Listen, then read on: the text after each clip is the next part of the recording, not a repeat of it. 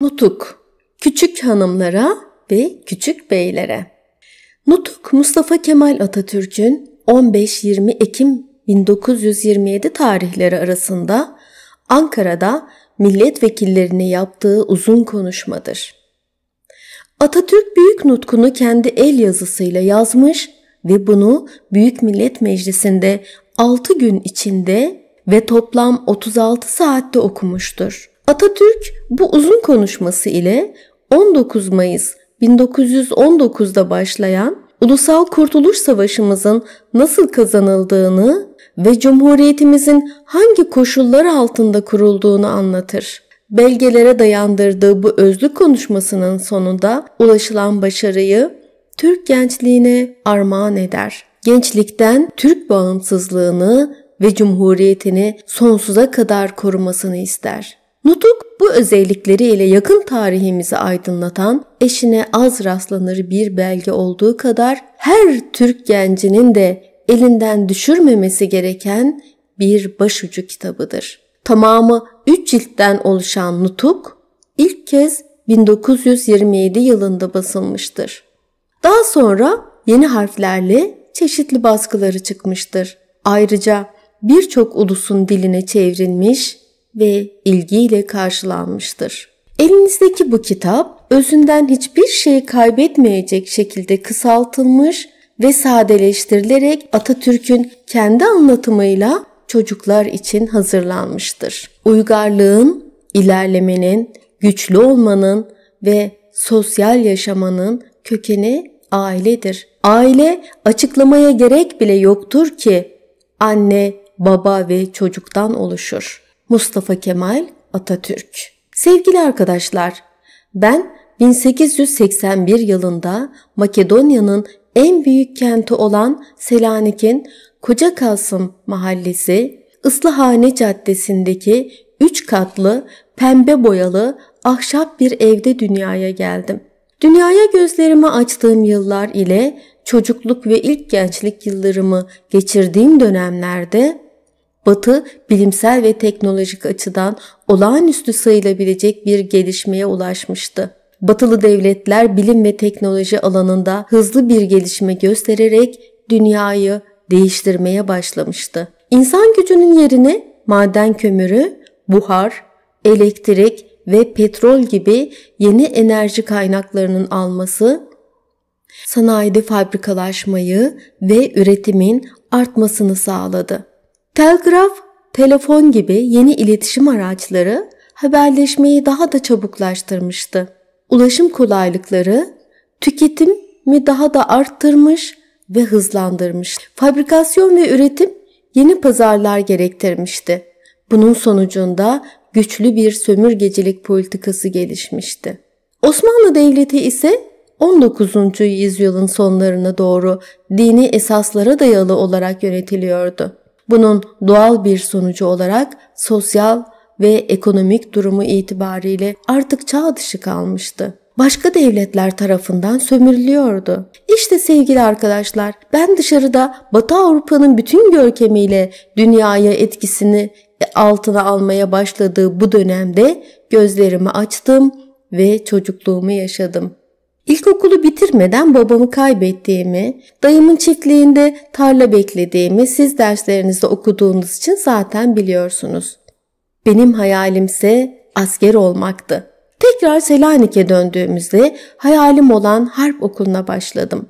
Harp okulunun 3. sınıfında Namık Kemal, Tevfik Fikret ve Abdülhak Hamit gibi özgürlük düşüncelerini işleyen şairlerin eserlerini okuyordum. Böylelikle ilgi alanımı genişletiyordum. O yıllarda 3 yıllık eğitim yapan harp okulunun 1. ve 2. sınıflarını başarı ile tamamladım. Son sınıfta ise başarı sıralamasında 8. olarak mezun oldum. Sonrasında Harp Akademisi'ne başladım. Yeni okulumda derslerime daha büyük bir hevesle sarıldım. Harp Akademisi'nin 57. dönemini 11 Ocak 1905 tarihinde 5. sırada kurmay yüzbaşı rütbesi ile bitirerek mezun oldum. Bir ara 2. Abdülhamit'in istihbarat teşkilatının kumpasıyla gizli toplantılar yaparak mevcut yönetim aleyhine faaliyette bulundukları şeklinde bir iddia sonucunda biri iki ay kadar tutuklu kaldım. Olayın istihbaratçıların planı olduğunun anlaşılması üzerine serbest bırakıldım. Bundan kısa bir süre sonra da memleketim Selanik'e çok uzak bir yer olan Şam'daki 5. Ordu emrine atandım. Birçok ülkeye görev için gittim. Ben yine başka bir ülkede görevdeyken 1 Ağustos 1914 tarihinde Birinci Dünya Savaşı başladı. O zamanki devletimizin adı Osmanlı İmparatorluğu idi. Osmanlı İmparatorluğu bu savaşta Almanların yanında yer aldı. Ülkemizin aydınlanmasını ve ilerlemesini isteyenlerden biri olarak Almanların yanında yer almamızı sert bir dille eleştirdim. Bunun ileride acı sonuçlar doğurabileceğini söyledim. Bu sözlerimi maalesef hiç kimse duymadı ya da duymazdan geldi. Sevgili arkadaşlarım, o zamanlar ben Sofya'da görev yapıyordum. Savaş başlayınca cephedeki arkadaşlarımın yanına gelmek istedim. Osmanlı hükümetine birkaç telgraf çektim, bir türlü cevap gelmiyordu. En sonunda gelen bir telgrafta Enver Bey, orduda sizin için daima bir görev vardır. Ancak Sofya askeri ataşeliğe daha önemli olduğu için sizi orada bırakıyoruz diye yazıyordu. Ben yapılmak istenenin farkındaydım. Büyük rahatsızlık ve sıkıntı duyuyordum. Cevap olarak gönderdiğim bir telgrafla vatan savunmasına ait fiili görevlerden daha önemli ve yüce bir görev olamaz. Arkadaşlarım savaş cephelerinde ateş hattında bulunurken ben Sofya'da askeri ataşelik yapamam. Eğer birinci subay olmak yetenek, bilgi, görgü ve becerisinden yoksunsam kanaatiniz de buysa lütfen bunu açık söyleyiniz ifadeleri ile düşüncelerimi dile getirdim. Yazılı ve sözlü ısrarlarım karşısında İstanbul'dan Harbiye Nazırı Vekili Talat Paşa imzasıyla 20 Ocak 1915 tarihinde gönderilen bir emirde 19.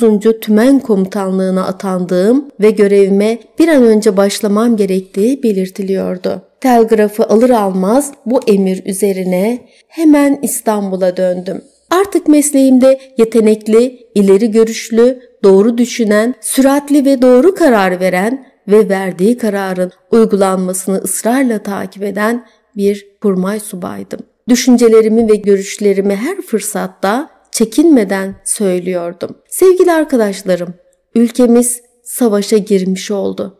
Arkasından Çanakkale Savaşı başladı ve hemen arkasından da Ulusal Kurtuluş Savaşı'nı biz başlattık. Arka arkaya olan bu savaşlar halkımızı yoksul ve güçsüz bıraktı. Benim burada size anlatacağım ulusal kurtuluş mücadelemizdir. O zamanlar neler yaşandı, kimler yaşattı, tarih bunu asla unutmayacaktır. Türk milleti bağımsız yaşamış ve bağımsızlığı var olmanın yegane koşulu olarak kabul etmiş cesur insanların torunlarıdır.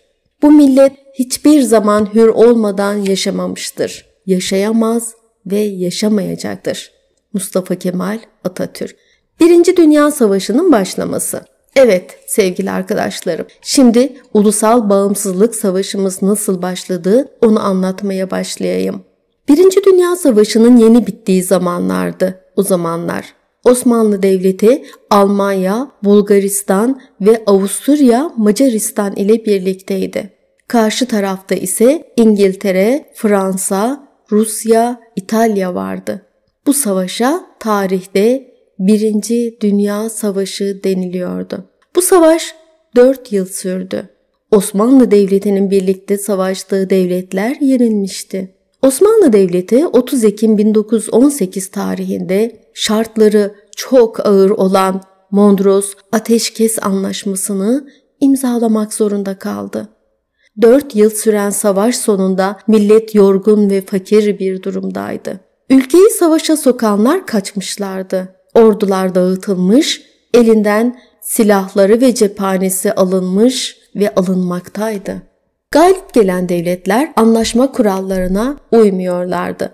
Bazı bahanelerle donanmaları ve askerleri İstanbul'da bekletiyorlardı. Adana Fransızlar, Urfa, Maraş, Antep İngilizler tarafından işgal edilmişti. Antalya ve Konya'da İtalyan askeri birlikleri, Merzifon ve Samsun'da İngiliz askerleri bulunuyordu. Her tarafta yabancı subay ve memurlar çalışıyordu. Sevgili arkadaşlarım, tam da bu sırada komutanı olduğu Yıldırım Orduları Grup Komutanlığı Ateşkes Anlaşması gereği dağıtıldı. Sonrasında ise beni hemen İstanbul'a çağırdılar. Adana'dan trenle 13 Kasım 1918 tarihinde İstanbul'a gittim. Galip gelen devletler hiç vakit kaybetmeden yurdumuzu işgale başladılar. İşgal haklarında Mondros Ateşkes Anlaşması'nın 7. maddesini dayandırıyorlardı. Galip gelen devletler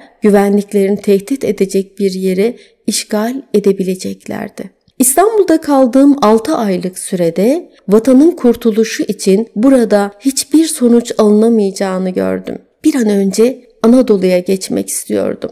Bu sırada Anadolu'ya geçmem için çok güzel bir fırsat doğdu. İngilizler Samsun ve çevresinde Türklerin Rumları öldürdüğünü, önlemlerin alınmaması durumunda Samsun ve çevresini işgal edeceklerini Osmanlı hükümetine bildirdiler. Osmanlı hükümeti Samsun ve çevresindeki huzuru sağlamak için 9. Ordu müfettişliği oluşturdu. Bu görevi de bana verdiler. Bu arada bölgemde bulunan ve bölgeme yakın olan valiliklere de bildirimde bulunabilecek. Bu yetkiye göre Ankara'da bulunan 20. Kolordu ve bunun bağlı olduğu müfettişlikle ve Diyarbakır'daki kolorduyla hemen hemen bütün Anadolu'da sivil örgütlerin başında bulunan yöneticilerle yazışabilecek ve ilişkilerde bulunabilecektim. Benim bu iki kol orduyu doğrudan doğruya kumandan ve emrim altına bulundurmaktan daha geniş yetkim vardı. Beni Anadolu'ya gönderenlerin bu geniş yetkiyi beni İstanbul'dan uzaklaştırmak amacıyla vermeleri sizi şaşırtmış olabilir. Hemen söylemeliyim ki onlar bana bu yetkiyi bilerek ve anlayarak vermediler. Her ne olursa olsun benim İstanbul'dan uzaklaşmamı isteyenlerin ortaya koydukları neden Samsun ve çevresindeki karışıklığı yerinde görüp önlem almak için Samsun'a kadar gitmemi sağlamaktı. Ben bu işin başarılmasının üstün yetkili bir görev verilmesine dayandığını ileri sürdüm. Bunda hiçbir sakınca görmediler. O günlerde genel kurmayda bulunan ve benim amacımı bir aşamaya kadar anlayan kişilerle görüştüm. Müfettişlik görevini buldular ve bu yetkiyle ilgili yönergeyi de ben kendim yazdırdım. Dahası Harbiye Nazırı, Milli Savunma Bakanı olan Şakir Paşa bu yönergeyi okuduktan sonra imzalamada duraksamış, mührünü anlaşılır anlaşılmaz bir biçimde basmıştır. Efendiler, bu durum karşısında tek bir karar vardır. O da ulusal egemenliğe dayanan kayıtsız, şartsız, tam bağımsız yeni bir Türk devleti kurmak. İşte İstanbul'dan ayrılmadan önce düşündüğümüz ve Samsun'da Anadolu topraklarını ayak basar basmaz uygulanmasına başladığımız karar bu karar olmuştur. Türk'ün haysiyeti, gururu ve kabiliyeti çok yüksek ve büyüktür. Böyle bir ulus esir yaşamaktansa mahvolsun daha iyidir. Öyleyse ya istiklal ya ölüm. Mustafa Kemal Atatürk. Samsun'a çıkış. Nihayet 6 Mayıs 1919 tarihinde Bandırma vapuru ile İstanbul'dan Samsun'a doğru hareket ettim. İstanbul'dan ayrılmak üzere evimden otomobilime bineceğim sırada Rauf Orbay yanıma gelmişti. Bineceğim vapurun takip edileceğini ve beni İstanbul'dayken tutuklamadıklarına göre belki de Karadeniz'de batırılacağımı güvenilir bir yerden işitmiş, onu haber vermişti. Ben de İstanbul'da kalıp tutuklanmaktansa batıp boğulmayı tercih ettim ve hareket ettim. Bütün engelleme gayretlerine karşı gitme kararından bir an bile dönmeyi düşünmedim. Beraberimdeki 8 kişilik bir subay kurulu ile birlikte her türlü tehlikeyi göze alarak 16 Mayıs 1919 tarihinde Bandırma vapuru ile İstanbul Galata rıhtımından Samsun'a doğru gitmek üzere hareket ettik. Ayrılmamızdan kısa bir süre sonra Kız Kulesi açıklarını geçerken vapur işgal kuvvetleri askerlerince durduruldu. Düşman devletlerinin bir motorla gelen subayları güverteye çıktılar. Kaptana bu adamlar niçin gelmiş diye sordum. Efendim silah ve cephane arıyorlarmış dedi. Ben de görevinizi yapın sonuçtan beni haberdar edin diye yanındakilere emir verdim. Yapılan aramadan sonra Bandırma vapuru yoluna devam etti. İstanbul Boğazı'nın sorunsuz geçilmesinin ardından Karadeniz'e açıldık. Karadeniz her zaman olduğu gibi yine azgın dalgalarla kabarıyor, hırçınlığını koruyordu. Ben bütün ihtimalleri göz önünde bulundurarak geminin kıyıya yakın seyretmesini istedim. Bunun iki tane nedeni vardı. Birisi Bandırma vapurunun eski bir gemi olması ve pusula dahil bir kısım araçlardan yoksun olması, diğeri ise Karadeniz'de işgal kuvvetlerinden özellikle İngiltere ve Yunanistan'ın sürekli devriye gezen savaş gemilerine yakalanmamaktı. Karadeniz'in hırçınlığı karşısında bir yandan dalgalarla boğuşarak diğer taraftan da düşman gemilerinden kısmen gizlenerek yolculuğa devam ettik. Öğleye doğru Sinop kıyılarına ulaştık. Sinoplar olayı önceden haber almışlardı. Bir grup vatandaşın sandallarla kürek çekerek heyecan içinde gemiye doğru yaklaştıkları görülüyordu. Sonunda Sinop mutasarrıfının başkanlığında yanıma gelip gemiye çıktılar. Sinop'tan Samsun'a olan yolculuk sıkıntılı bir şekilde 3 gün sürdü. Düşman devriye gemileri tarafından görülüp her an batırılma tehlikesi vardı. Sonunda 19 Mayıs pazartesi günü sabah saat 6 sularında Samsun açıklarına ulaştık. Gemi reji iskelesi karşısına denk gelen ve kısmen kıyıya yakın bir şekilde demir attı. Samsunlar liman alanını doldurmaktan başka limanın her iki yanına doğru kıyı boyunca sıralanmıştı ve bandırma vapuruna karşı coşkun gösterilerde bulunuyorlardı. Kalabalığın coşkusu neredeyse denizin içlerine kadar geliyordu. Samsun ve çevresinden karşılamaya gelenler adeta bayram edercesine coşku gösterilerinde bulunuyorlardı. Beraberimdeki arkadaşlarla güvertedeydik. Gemiye sandalla gelen kurmay binbaşı Mahmut Ekrem ile el sıkıştık. Binbaşı, hoş geldiniz paşam, emrinizdeyiz diyerek selam verdi. Gemideki konuklar önce olmak üzere herkes sandallara bindi ve kıyıya doğru hareket edildi. Şimdi size Samsun'da yaşadığım bir olayı anlatacağım. Samsun'a çıktığım zaman üstü başı yırtık, postalları patlamış, silahsız bir er gördüm. Yüzünün rengi bakıra dönmüş, bir deri bir kemik kalmış. Bu Türk askeri ağlıyordu. Ona sordum. Asker ağlamaz arkadaş. Sen niye ağlıyorsun? Asker irkildi, başını kaldırdı. Bu sesi tanıyordu ve bu yüz ona yabancı değildi. Hemen doğruldu ve anafartalardaki komutanını çelik yay gibi selamladı. Söyle niçin ağlıyorsun? İç Anadolu'nun yanık yürekli çocuğu içini çekti. Düşman memleketi bastı. Hükümet beni terhis etti. Silahımızı elimizden aldı. Toprağıma giren düşmanı neyle öldüreceğim? Askerin omuzuna elimi koydum. Üzülme çocuğum, gel benimle. Ve Samsun deposunda giydirilip silahlandırılarak yanıma aldığım ilk er bu Mehmetçik oldu. Sevgili arkadaşlarım, Samsun'a çıktıktan sonra gördük ki şehir tamamen İngilizlerin denetimi altındaydı.